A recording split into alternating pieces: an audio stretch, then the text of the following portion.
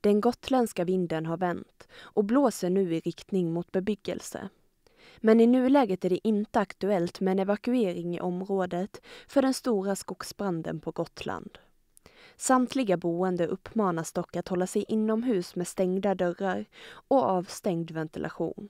Samtidigt kämpar 75 personer från räddningstjänst, hemvärn, olika åkerier och tre vattenbombande helikoptrar för att hålla tillbaka den 150 hektar stora branden.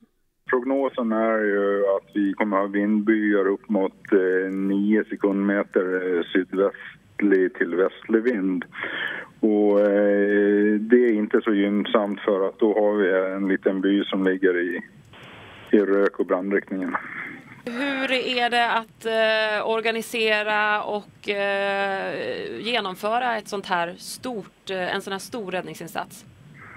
Ja, det är klart att det, det är eh, en svår operation att hantera eh, uppemot 100 man och massor av fordon både på, i luften och på marken. Men vi, vi har en bra organisation på platsen och eh, har även fått lite eh, ledningsstöd från Storstockholm här så att eh, det finns gott om kvalificerat ledningsfolk på plats.